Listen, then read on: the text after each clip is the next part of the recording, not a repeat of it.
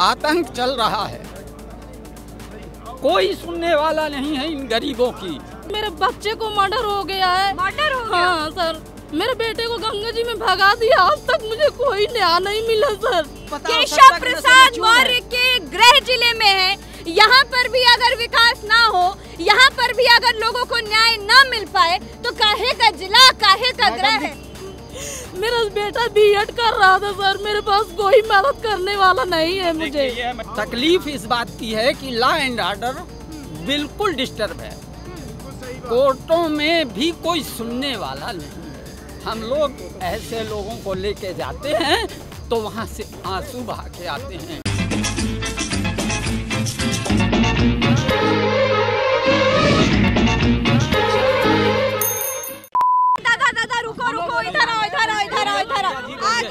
गया।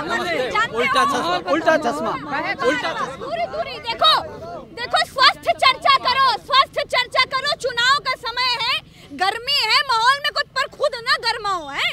नाम बताओ दादा। सरकार आलम खान पेशे से अधिवक्ता। अधिवक्ता हो दादा? हाँ। माहौल बताओ किसका है? तुम रोने का है वाले? नहीं नहीं रोने वाले नहीं है। तकलीफ़ इस बात की है कि लॉ एंड ऑर्डर बिल्कुल डिस्टर्ब है।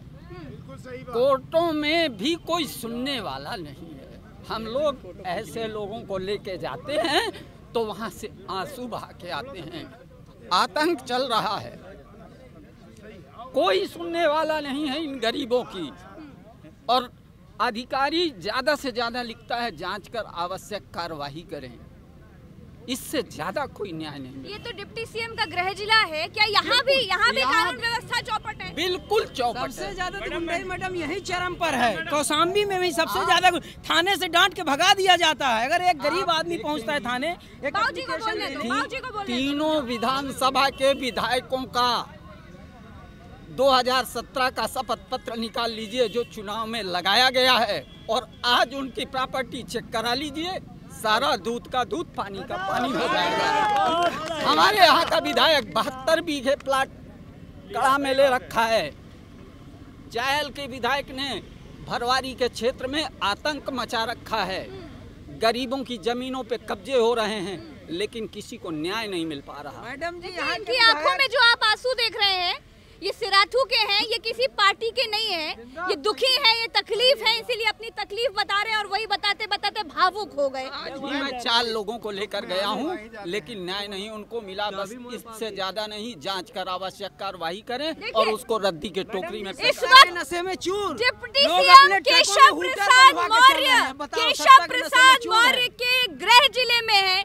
यहाँ पर भी अगर विकास ना हो यहाँ पर भी अगर लोगों को न्याय न मिल पाए तो काहे का जिला काहे का जी है? क्या विकास हुआ? कुछ विकास नहीं हुआ। युवा परेशान। भाई साहब ना कह तो रहे कोई भाई साहब रोज़गार कह रहे हैं कि सब एजेंट है ये लोग। उनको मिला होगा। चलिए हम उनको मुफ़्त में सारी उनके चीज़ दिल को इनके दिल को तसल्ली करने के लिए हम यहाँ चले आए भैया। मैडम ये तो भाजपा वालों की खासियत है। जो हक की बात करें नेताजी कह रहे हैं आपको। तो वो उनकी विचारधारा है वो क्या बोले? जी तो है ही है। देखिए अभी हमारे आपने अधिवक्ता बताया अपने आप को। अब अधिवक्ता कह रहे हैं कि सुनवाई नहीं हो रही है। ऐसा आप मान सकते हैं कि जज और अधिवक्ता मतलब आप न्यायपालिका को शंका के दायरे में ला दिए। बिल्कुल जो हो रहा है वो हम लोग कह रहे हैं। अगर जो हो हो रहा है। तो ही हो है। हो। बोलने दीजिए बोलने दीजिए। मैं दो तीन बात कहना चाहूँगा। तकलीफ़ देखो आप खुश हो ठीक है। लेकिन भाई साहब दुखी हैं तो आप उनको भी मेरी बात भी सुनिए देखिए। मेरे बुज़ुर्ग हैं ये और इन्होंने कहा कि न्याय मतलब ये न्यायपालिका को शंका के दायरे में ला दिए। और अभी अभी ये विधायक के बारे में कहे कि उनका बहत्तर बीघे सत्तर बीघे ज़मीन है। भूल जाइए ये भूमाफिया की सरकार नहीं जहाँ अतीक अहमद का बंगला ध्वस्त हो गया है। ये वही भाजपा की सरकार है यहाँ दूसरी चीज़ मेरी बात क्यों याद करें पिछली सरकारों को सुनिए सवाल आज की सरकार हाँ, से होगा। अरे वही जवाब दे रहा हूँ। आप सुन नहीं रही है आप सुन नहीं रही है। आज की सरकार में भी ऐसा है तो अरे सुनो यार सुन लो भाई। वही गायत्री प्रजापति की बात कर रहे हो जिसने रेप किया था। वही गायत्री प्रजापति की बात कर रहे हैं ये। क्या कुलदीप सिंह सेंगर को भूल गए। यहाँ पर टक्कर किसकी किसकी है बाबा? हम सुन सुने हैं पहले शांत रहो पहले अपना नाम बताओ। मेरा नाम ऋषभ मोदनवाल है। ऋषभ मोदनवाल कहाँ के हो यही? मैं यही पास में माँ शीतला का मंदिर कड़ा धाम का वहाँ अरे वाह क्या बात है बड़ा मैं ऐतिहासिक आपको फेसबुक पे अक्सर देखता हूँ अभी मैं यहाँ पे पढ़ा प्रज्ञा का पन्ना। हाँ। मैं आपका टॉप फ़ैन भी हूँ फेसबुक ओहो हो बहुत बहुत तो मैंने कहा आप सभी सेल्फी ज़रूर लूँगा और मैं आपको अक्सर देखता अरे हूँ। ज़रूर लीजिएगा सेल्फी मेरे भाई। पहले बताओ माहौल क्या है सिराज यहाँ माहौल सिर्फ़ भारतीय जनता पार्टी का। आप इनसे अच्छा, पूछिए। हाँ। अभी पिछली बार जब भी समाजवादी पार्टी के विधायक रहते थे कभी वो आके दिखाई देते थे? पाँच साल गायब हो जाते थे कभी दिखाई नहीं देते थे। अभी कौन विधायक हमारे यहाँ के शीतला प्रसाद पटेल जी हैं। आप एक फ़ोन करिए वो तुरंत आएँगे। और आपको ये विकास दिख रहा है। अच्छा। और आप आप स्वयं महिला हैं। ये वही समाजवादी पार्टी जिसके मुखिया सुप्रीमो मुलायम सिंह यादव कहते थे कि लड़के हैं गलती हो जाती है। आप महिला आप अपने आप को आज सुरक्षित महसूस कर रही हैं तो ये भारतीय जनता पार्टी की देन है मैम। कह रहे हैं कि ये मुलायम सिंह यादव खुला कहते थे समाजवादी पार्टी का माहौल है यहाँ। आज किस कहीं से पूछ लीजिए। जानवर अरे मैं किसान हूँ। हाँ, पूरा गाय भैंस सब सब चल रहे हैं। सब सब चल रहे हैं। हाँ, इसीलिए महिला महिला की बात करते हैं। इसी पंचायत चुनाव में चीर हरण हुआ है बीजेपी की सरकार में महिला की आप भूल गए आप भूल गए अखिलेश यादव की सरकार जहाँ पुलिस वाले महिलाओं को महिलाओं का कपड़ा फाड़ दिए थे। आप भूल गए भाई साहब। आप भूल गए। भाई साहब भाई साहब सुनो। आजकल सुनो ना भैया जनता की जो मेमोरी है चुनाव के समय पंद्रह के बीच हो जाती है। 2022 में समाजवादी सरकार बनेगी। समाजवादी सिर्फ़ हवा में है। कुछ नहीं होगा 22 में। प्रयास करिए 27 में। 2022 में कुछ नहीं होगा सिर्फ़ 2022 ये देखिए गुंडागर्दी गुंडागर्दी गुंडागर्दी है सिर्फ़ गुंडागर्दी है हो भैया? तुम तो बता रहे थे कि तुम किसान हो फिर नेता नारे लगाने लगे। का जो जो यहाँ हमारे ऊपर बीत रही है बच्चे स्कूल में किस किसी की नौकरी नहीं मिल रही सब परेशान है युवा परेशान है सब लोग परेशान है। अब यहाँ कह रहे हैं बीजेपी बनेगी बीजेपी कैसे बनेगी? मैम कोई नहीं परेशान कोई नहीं परेशान। भैया बताओ आ गई मैं आ गई आपके पास आ गई। बताओ बताओ मैडम ये बोल रहे थे कि हाँ, महिला का महिला का बड़ा हाँ, मतलब सम्मान हुआ है। इनके ही विधायक बीजेपी के उन्नाव के संगीत सेंगर थे। उन्होंने रेप किया पूरी फैमिली को मरवा दिया। मौर्य समाज की लड़की थी। उप उप मंत्री है अपने केशव जी ने। क्या किया मौर्य समाज के लिए?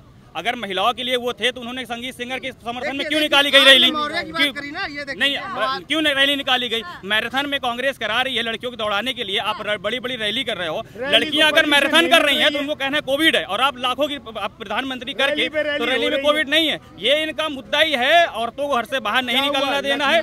पार्टी चाहे कोई भी हो सरकार चाहे कोई भी हो महिलाओं के साथ तब भी वही होता था महिलाओं मुझे घर नहीं बनवाने दे रहा है पच्चीस बाई चालीस बैनामा करवाई हूँ।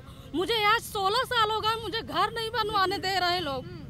और मैं बहुत परेशान से मेरे बच्चे को भी हत्या हो गई मुझे धमकी सड़ा के दी जा रही है। क्या बोल रहे फालतू हैं परे- मुझे बोल रहे हैं कि अभी एक बच्चे में रोई है अभी फिर रोएगी क्या? कौन बोल रहे हैं? बोल रहा हैं इसी में नाम लिखा है मैं सर पढ़ी लिखी नहीं हूँ मैं गंवार महिला हूँ मैं पढ़ी लिखी नहीं बहुत गरीब हूँ सर। कहाँ घर मैं धारूपुर की रहने वाली हूँ सर। पूरी बात मेरे सर साहब हुआ है मेरे साथ मेरे बच्चे को मर्डर हो गया है। मर्डर हो गया? हाँ सर। मेरे बेटे को गंगा जी में भगा दिया आज तक मुझे कोई न्याय नहीं मिला सर। मेरा बेटा बीएड कर रहा था सर। मेरे पास कोई मदद करने वाला नहीं है मुझे। ये है महिलाओं की देखिए आप ये है महिला ये महिला सशक्तिकरण है। अब एक बात बताइए क्या इनको किसी ने कुछ कहा? ये महिला सशक्तिकरण यहाँ पर ये जो समाजवादी के एजेंट है मैं मैं देखिए मैं किसी का पक्ष नहीं ले रहा हूँ। मैं एजेंट नहीं हूँ।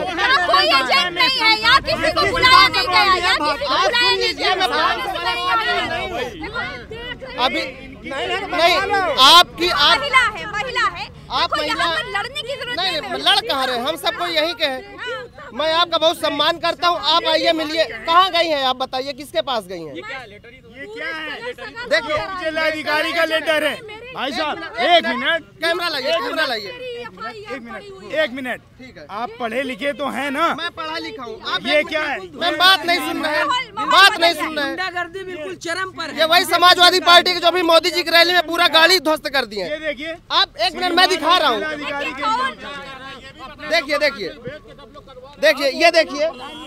इसमें कहीं अधिकारी की मुहर है। अभी मैं भी जाऊँगा मैं भी जाऊँगा शहद जनसेवा केंद्र। अधिकारी की मोहर की दी हुई इसकी नकल रख कर रखी हूँ। मैं अधिकारी की नहीं रखी हुई हूँ। अधिकारी की मेरे पास रखी हुई है। कितनी एफ़ आई आर लेंगे मेरी? मैं आपको ला कर आप लड़िए मत आप लड़िए मत। अच्छा, आप मेरी आपसे लड़ाई नहीं तकलीफ़ है सबकी तकलीफ़ है सरकारें भाई सब सुनिए सरकारें चाहे कोई भी हो पार्टी चाहे कोई भी हो करती वही है जो जो दूसरी सरकारें पार्टियाँ करती है। माहौल बताओ माहौल क्या है लेकिन मैडम जी जनता पार्टी का माहौल है और कुछ नहीं होगा बाईस में। आप लोग प्रयास करिए सत्ताईस में समाजवादी पार्टी जो यहाँ पे एजेंट है ना बाईस में कुछ नहीं होगा बाईस में कुछ बदलाव होगा। मैडम बीजेपी सरकार बिल्कुल गुंडई के चरम पर है। गुंडई, देखिए। सरकार बोल आप रहे हैं? महिला सशक्तिकरण देख लो। किसको गुंडा बोल रहे हैं भाई? अब ये इतनी देर तक चिल्ला रहे हैं। अरे आप धीरे से बोल सकते हैं ना। ये आप सिर्फ़ समाजवादी पार्टी के एजेंट हैं ये सब। लोग आवाज़ तो दबाना चाहते हैं गरीब मजलूमों की आवाज़ दबाना चाहते हैं। सिर्फ़ अपनी आवाज़ अपनी आवाज़ हैं कि एजेंट है एजेंट एजेंट तो ये बन गया है। एजेंट तो ये बन गया है। अच्छा अच्छा कौन कौन एजेंट है हाथ हाथ उठा के बताओ भैया एजेंट कौन कौन है? कौन एजेंट एजेंट हो भैया? नहीं वो है वो बीजेपी के एजेंट है। अभी गाँव के लोग हैं। बात करते हैं महिला परेशान हुई है इसलिए एजेंट बन गया है। सबसे बड़ी बात मैडम। महिला की बात एजेंट करते हैं। थोड़ी हो सकती है। इनकी बात मैं नहीं कर रहा मैडम आप एक बात बताइए। आप किसके महिला? एक सेकेंड एक सेकेंड।